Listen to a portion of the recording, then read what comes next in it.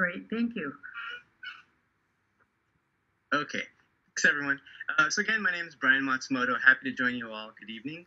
Um, let's set the context. Uh, the San Gabriel Mountains, uh, a portion which is within Conservancy territory, is obviously beloved by so many people. You know, part on fire right now, which is traumatic and horrible, but of course we we all hope for the best. Um, the situation is fundamentally there is no equitable access up to the mountains because there's literally no way if you don't have transportation to get up there. And so many people have been working on transit to trails solutions for the San Gabriel Mountains. There's been successful pilots over a number of years. And so we're happy to share with the Conservancy uh, the San Gabriel Mountains Transit and Infrastructure Program, and specifically a route that is within the Conservancy territory. Uh, so this proposal uh, hits key Conservancy priorities around community access, um, folks who do not have the ability to get up into the mountains and experience nature, um, the opportunity to reach whole new diverse populations and specifically disadvantaged communities in our most part poor communities in LA, um, communities of color and low income communities.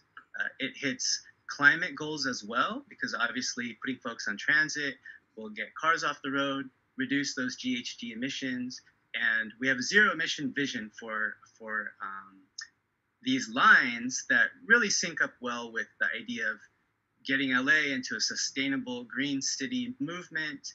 By the 2028 Olympics, the world can see, you know, these zero emission shuttles taking folks up to the mountains. And finally, growing that education and stewardship to all of our communities equitably.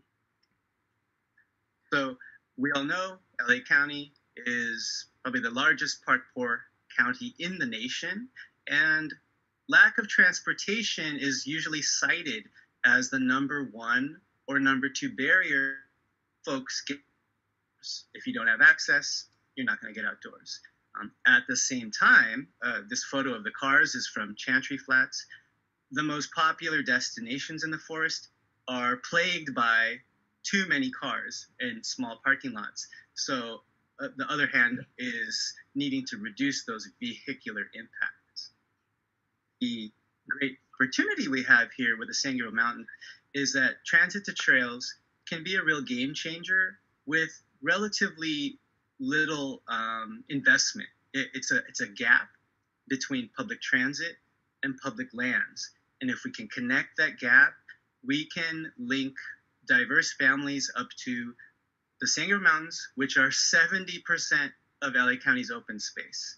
So currently, 70% is not accessible to you know are one in 20 Americans which live within a 90 minute drive. So this vision, uh, which we've been coordinating with many partners across the region, is about linking up the Metro Gold Line, which comes so close to the foothills, uh, but doesn't have those connections up to the mountains, right? Um, so this red circle is the Pasadena Memorial Park uh, station, and um, we'll talk about that further. Everyone's probably familiar with the county's park needs assessment map, and in red, this indicates the highest need communities in our county, which have the least access to parks, and the overlaid colors are our metro rail system. So downtown is in the middle with the red line, gold line, blue, aqua, expo all intersecting. And you can see how quite easily we can grab a very large core of disadvantaged community residents, get them on the metro rail, get them up to the gold line, and have access to the mountains in you know 45 to 45 minutes to an hour's time. Um, this map pulls data about the severely disadvantaged communities in orange and by our estimate, three quarters of a million residents in these neighboring communities that are within one mile walking distance to a metro rail station will be able to gain access to the San Gabriel Mountains. So, as an example, my coworker Kim, she lives in East LA. There's she does not have a car, no access to the mountains. With this transportation system, she could easily hop on the Gold Line with her family, be up to that Pasadena station in about half an hour, and be whisked up to Mount Wilson, which is our vision for today. So, uh, let's talk about the Mount Wilson Express route. Um, we've done kind of preliminary talks with many of the partners, the Forest Service, Haramokngna American Indian Cultural Center, and um, obviously Mount Wilson folks are, are busy right now. So with all fingers crossed, you know, this can be a really formative vision. Um, so as we indicated here, I have a little pointer. A simple shuttle could come from the Pasadena Memorial Park Gold Line, hop on the 210 freeway, be up here in about 25 minutes to Switzer Falls, which is a hugely popular hiking destination. Um, even now during COVID, it's packed with people. Multiple trailheads here, and, and then a series of other trailheads. The Haramokngna American Indian Cultural Center at the Red Box um, intersection, uh, which the Conservancy is investing resources in to help renovate their building. Uh, so this would really leverage the Conservancy's um, investments there and get more folks up, up, to those educational opportunities. Then the Eaton Saddle Trailhead, which leads to the historical Mueller Tunnel, um, Bear Canyon Trail, which comes all the way down to Switzer again. And then finally, obviously, Mount Wilson Observatory with its multiple trailheads down to Chantry Flat, uh, Cosmic Cafe to have lunch, scenic views, and you know, people wonder why isn't this already a, a bus destination when it's it's a historic, globally significant um, destination. So this is the vision, and we just wanted to talk territory. Um, this is the Conservancy's map. And so we've determined, um, thanks to Brian Baldoff's help, that, you know, Highway 2 all the way up to the Red Box intersection is in the territory. Um, the road to Mount Wilson is the boundary line. Uh, this purple line is the Conservancy territory. And then finally, Mount Wilson itself is on the very edge of the Conservancy's territory. And it also overlays with the Rivers and Mountains Conservancy territory, which is in black. So this opportunity um, is really an exciting chance for the Conservancy to really invest in community access. Uh, over the past four years, there's been a slew of shuttle test pilots to demonstrate and test out that these types of things can work. And All has run a community access shuttle to Haramokngna and Redbox, super popular. Other ones have included Sam Merrill Trail with City of Pasadena, Chantry Flat uh, with the Forest Service in Arcadia, and Fish Canyon with Duarte. Um, and so everyone's looking at, you know, possibilities to do all these things, but the Mount Wilson Express is a one of the only multi-destination opportunities that could really make this a, a very big success. And we just wanted to share a quote from one of our trips. Most of these people are first-time visitors, and one young man shared, you know, today I went to one of the most magnificent green spaces I have ever been to, and that was at Sturtevant Falls. So you can imagine how life-changing this is for our really inner city core um, target population. So, Mr. Matsumoto. Uh, yes. Question for you. You said yes. that uh, the observatory, the famous Hooker telescope, was on the cusp So which side is it? Uh, is it the side uh, where uh, Santa Monica Mountains Conservancy and uh, claim some right of first refusal to uh, go up there and look at that? Or is it the, uh, I won't say hated, but the uh, our, our competitive Your friends at the Arm. uh, that was so aptly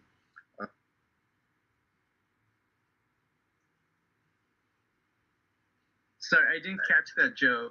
But um, honestly, the answer to that question is we need help from your side, from the Conservancy, to really look at that in detail. Um, we were able to look at it very quickly with some of your staff, and so that was the best determination we could come up with. But um, we would need uh, your help to get into your maps a little further.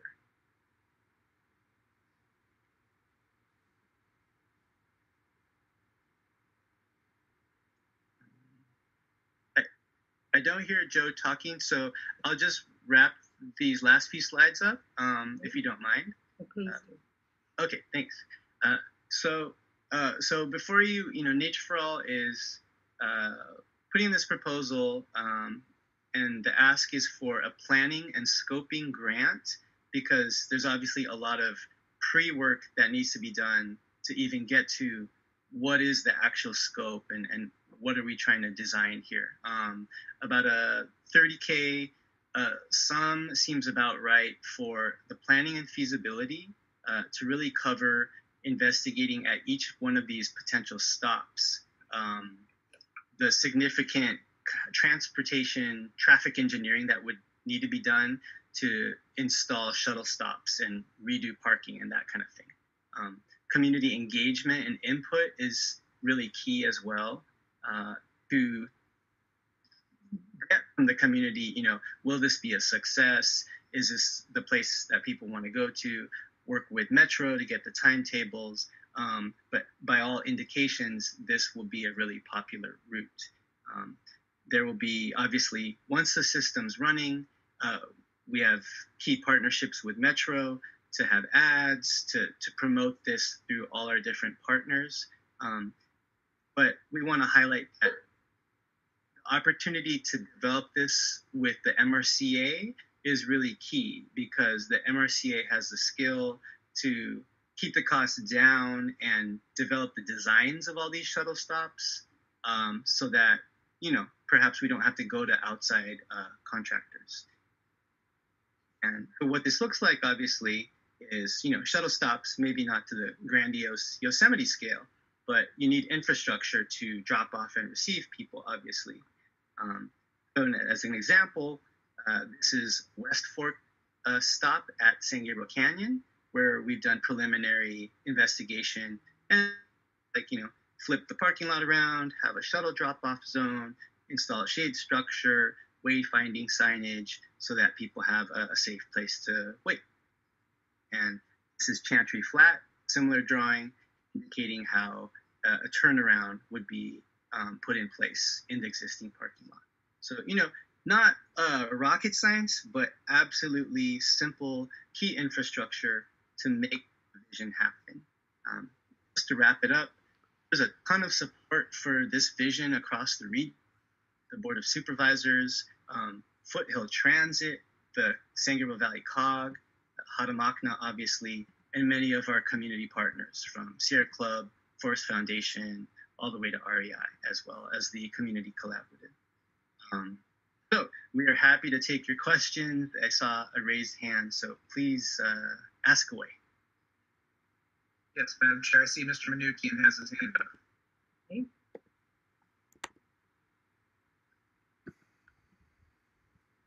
Hello? Can you hear me? Hi. We can hear you. Uh, considering that um, the representative from the city of Glendale, I was wondering if, uh, and I saw in your one of your maps that the city of Glendale has some uh, under underserved area, areas as well.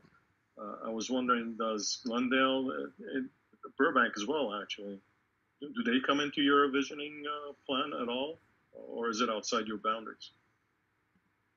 Um, there's kind of two points to that to respond to that. Um, the key kind of hookup is with the gold line because of the major investment in the rail line that can bring folks from all different points that are already connected to the metro rail. So the other part of that is cities will be able to, you know, use their own shuttle services and apply for grants from Metro's Transit to Parks funding.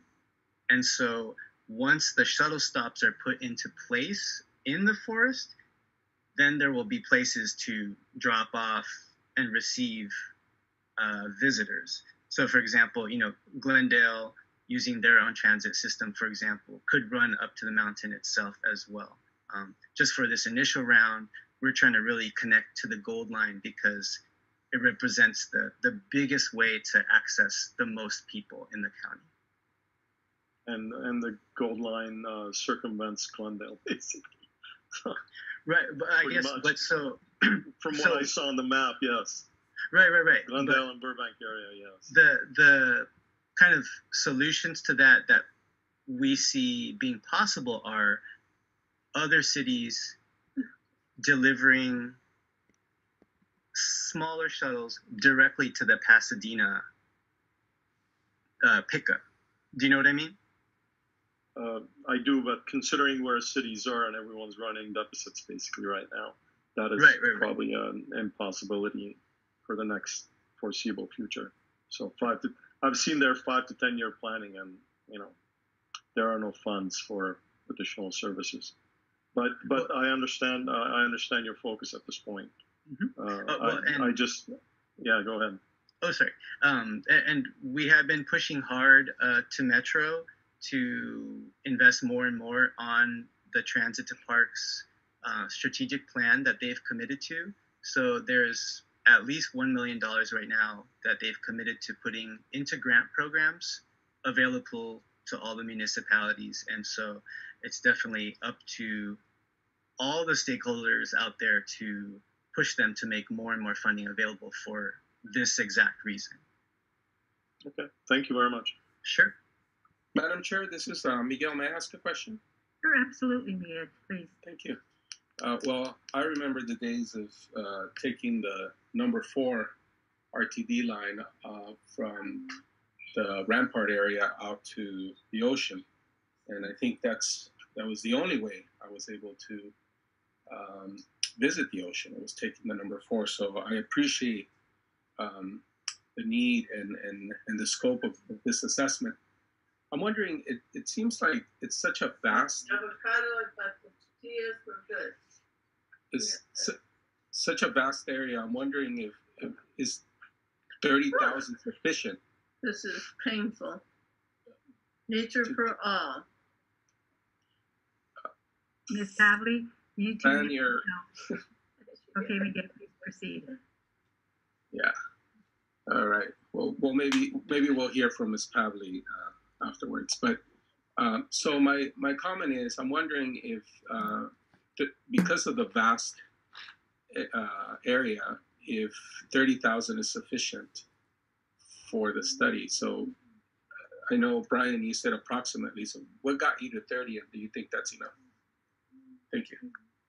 Thank you. Uh, Mr. Bryan, do you want to respond? Sure. And uh, Belinda, feel free to jump in as well, because this is uh, just for scoping and like project development. So after that point is is the real design and engineering and you know infrastructure construction. Okay, thank you. Ms. Pavley, did you have a comment? Not too many comments other than I know Belinda for years and years and their good work for Nature for All is something we need to pay attention to. So um, I'm eager to support whatever they have in mind. Okay, thank you. Um, Madam Chair, we have a number of hands raised. okay, please First- call first on them.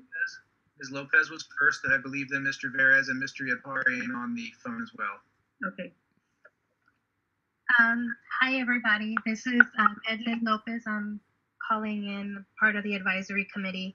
I rarely speak um, during these meetings, but I really did want to commend that presentation more than anything because if that were to happen, if this project were to happen, it would provide access to not only the communities where I come from, from Southeast Los Angeles, but also South Los Angeles, where the Conservancy and the MRCA, from what I have been able to tell from the maps, they only have a couple of open spaces or um, open area spaces in the inner city Los Angeles area. So I just really think that there is such an impact that you would make in the younger generations as far as um, environmental stewardship is concerned. So thank you for bringing that to the Conservancy. Thank you, Ms. Lopez.